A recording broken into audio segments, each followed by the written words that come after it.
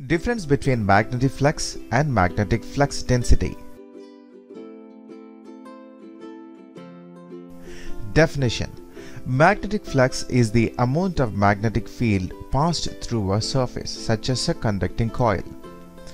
Magnetic flux density is the amount of flux passing through a defined area.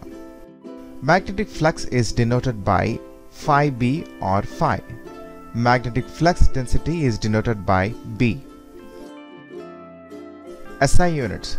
SI unit is Weber, WB in magnetic flux, whereas in magnetic flux density, SI units are WBM minus 2, that is Weber per meter square, Tesla, T.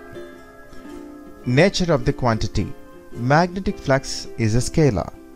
Magnetic flux density is a vector.